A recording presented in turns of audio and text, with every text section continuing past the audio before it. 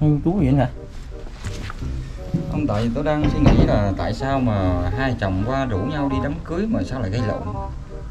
Hai chồng đã cùng nhau chở nhau đi đám cưới mà trong trong tiệc là gây lộn. Tôi thấy vô lý ở chỗ là Ông thấy có có lẽ không? anh ờ, liếc nhìn ờ, người ta hay sao? Không, chung bàn mà hỏi làm sao mà, liếc nhìn ta gì Nói chung vấn đề mà ồn ào quá thì mình không nghe cốt truyện là cái gì Thì đám cưới mà nhạc sống nhạc sinh rồi MC nói tùm lum rồi sao mình nghe được? Ờ. Mấy là hồi cái tôi ngồi nhậu xong cái ngước lên nhìn thấy hai chồng cãi lộn y xèo vậy hết trơn á. Mà tôi nghe đâu khanh phanh đó là từ cái chỗ mà cái gì? Con bé mà nó nó nó nó nó gì ta? Thì phụ nữ không biết rồi. Ờ. Uống gì đó. Ờ. Phụ nữ nó uống thì đương nhiên là bây giờ tôi hỏi tôi hỏi ông chứ. Đa số là uống nước suối hoặc là uống coca hay là uống nước ngọt đúng không? Ờ mà uống thì à, kiểu là như là bỏ cái ly á. Ừ. Hiểu không? Bỏ cái ly đúng không? Ừ. Nhưng mà ừm, không có ly con này nó lại khó tính đến chỗ là nó không uống đá. Đó nó chỉ có uống uống gì? Nước nước Ừ, bình thường đó bình uống- thường mà ừ. kiểu ướp lạnh á. Ờ đó thử là cốt truyện là như vậy á mà tôi không hiểu lý do tại sao mà cãi lộn. Cái xong tiệc xong cái cái tôi mới ra nói tiệc đám người ta tự nhiên hai chồng ở đây cãi lộn. Cũng bạn bè tôi thôi mà. Ờ cái nói không tại vì vấn đề vợ em nó khó tính ở chỗ là thứ nhất là nó uống mà nó đòi ông hút. Thì đương nhiên thì nó ủa tôi tôi tôi, không thấy còn vợ mày uống cầm hút mà.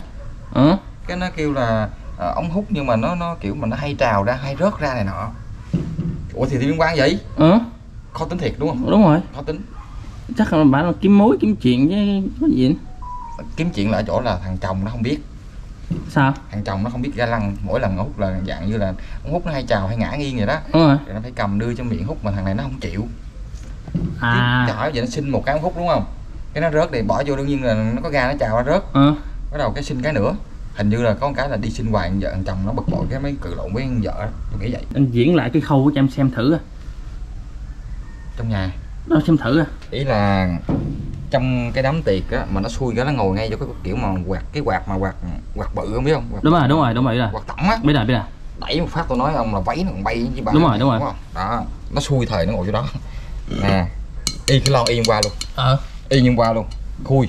Ờ. Thì đương nhiên chồng mạnh tay bắt lại vợ nó đeo móng giả thì tay dài khúc gì này hỏi sao bật này. Ờ. Chồng cái lăng. Nhiên khui ngược à? Nó lộn lộn. Xin lỗi xin lỗi nha. Chắc là cái này bị tôi tôi tôi tôi tối qua tôi làm gì à ngu nghiên cứu. Chắc nghiên cứu để hai chồng khỏi cãi lộn á mà quên. Cứng. À, giờ tay. Đúng đúng cái này cứng. Móng tay ai mà ấy được tôi còn không được. Đúng. Ấy da từ từ để cái gì cũng cứng tí. Cái hồi nó rớt móng tay nữa xong luôn á. Cứng thiệt đúng không? Đúng cứng. Cho nên ờ, phụ nữ mua xoay cũng hơi cực. À, à ý hôm qua là tự nhiên nhà sản xuất lật ngược lại như vậy á hả? Không là biết cốt chuyện tôi không biết mà. À, tôi chỉ khánh phánh là dạng như là cái ống hút này là mỗi lần đưa lên phải cầm ống hút cho vợ nó, nó, nó kêu là nghĩa là tại sao anh không quan tâm tới vợ? Rồi rồi nó là như vậy thôi cốt chuyện như vậy. Đó ví dụ bật nha. Ờ. Là thằng chồng. Ờ. Dễ mà. Ờ thế nó như vậy mà. Rất dễ dàng. Đúng rồi. rất dễ dàng. Đó bây giờ thả, Ờ. thả ống hút vô hút nè. Ờ. Đó bắt đầu cái nó trào lên nè. Đúng rồi. Đó không thấy đẩy lên không? Thấy. Mà quá trình gió nữa. Đó. Nè như vậy là đẩy lên nè. Ông thấy nó xuống không? Đúng rồi. Gió. Rớt đúng rồi. Tôi đang thí dụ. Chứ đó chuyện bình thường đấy có cái gì đâu mà Chưa phải à. lên tanh. Anh ơi anh rớt rồi. Để em chùi em lụm lên chùi. Ờ. té trong đám mình chùi dơ làm sao? Ờ. Để anh đi xin cái khác. Ờ. Em ơi em ơi để em vô xin nha xin thi ờ. luôn nha. Xin nhiệt tình rồi. Chưa cốt chuyện nó vẫn có nó mới, mới đưa nguyên cái bịch này. Ờ. Tôi tôi nghe cốt chuyện kể thôi. Ờ. Cái nghĩa là xin cái thứ thứ hai. Ờ. Vẫn ra để vậy. Đó ông thấy nó nó, nó trồi lên nè. Đúng Đó, rồi. là nó trồi. Đúng rồi. Nó trồi lên nó thấy không? Đúng rồi. Gió chưa chưa gió gió. Mình thí dụ để bỏ ra đi. Ờ.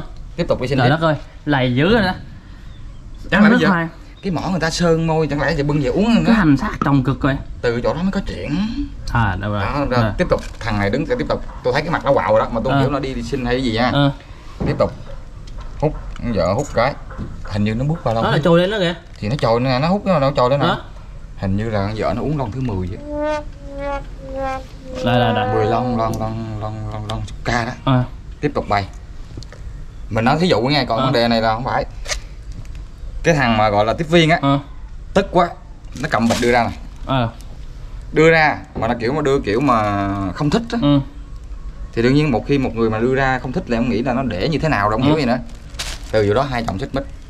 Trời đất nếu ơi. ví dụ như mà thằng chồng mà nó biết ga lăng hay gì đó thì giữ đi còn không nữa là uống xong cái bắt đầu cái bỏ ra nè. Ấy, ấy bắt đầu cái mình để lên cái chỗ mà như cái, cái chén cái đĩa hay cái gì đó rồi bữa mình muốn hút bỏ vô hút tiếp. Rồi ok. Đó. Em hiểu rồi. Hiểu bây chưa? giờ nha. Em hỏi tới anh cả mọi người cái lỗ trên đây làm để làm gì? Thì để để mình có cái cái cái móng tay này mình bỏ tay cái mình bật ra nó cái đúng rồi vậy mà cũng không nghĩ ra. Đúng rồi vậy mà ông cũng hỏi. Đúng rồi. Ok cái này nè sau khi một khử ra đó cái lỗ này anh sẽ xoay ngược lại. Xoay xoay ngược lại cái Đúng rồi. cái lỗ này. Đúng rồi xoay ngược lại đúng không? Đúng rồi. Ok. Rồi anh chọn hút vô. Cái này cũng hợp lý nè. Ờ, anh chọn Đó. anh chọn hút vô. Thì tính ra cái thằng đó nó không hiểu biết. Không hiểu biết. Đó. Anh chọn hút vô vô.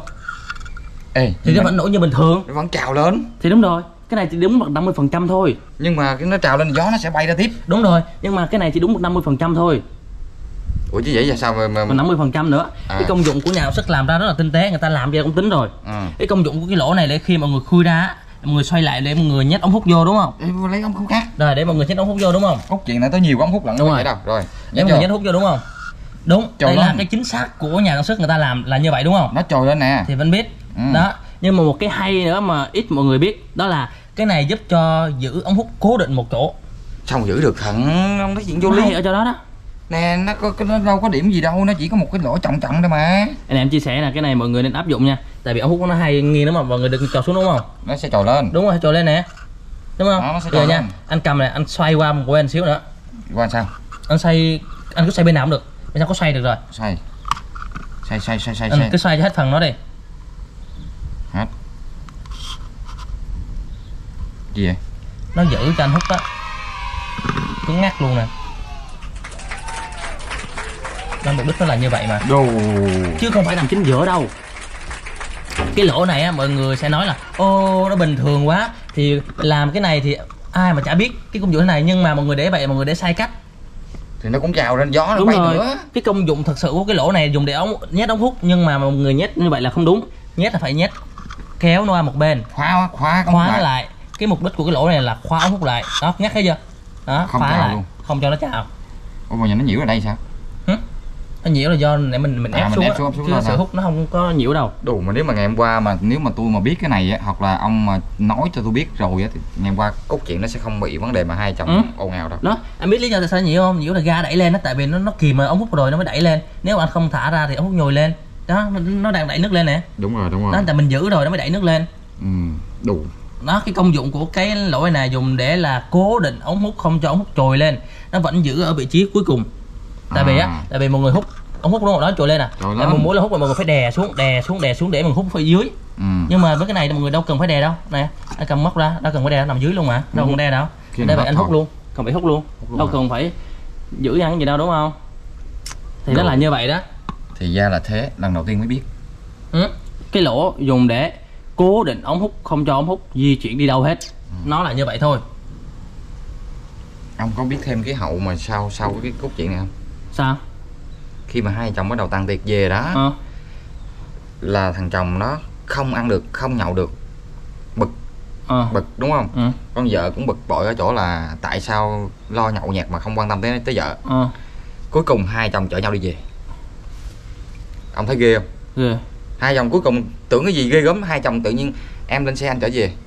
Vậy thôi chứ những cái gì nữa thì đúng rồi cũng cũng hay cái chỗ đó đó, đó ok em chia sẻ mọi người nha tuy nó đơn giản nhưng mà em nghĩ ít anh em nào biết xưa giờ anh em chỉ xài được 50 phần trăm thôi. 50 trăm đó là mọi người cứ nghĩ cái như thế này thực sự nó vậy là sai đó không đúng đâu. Ủa đúng là mọi người phải kẹp qua để cố định cho nó mới đúng.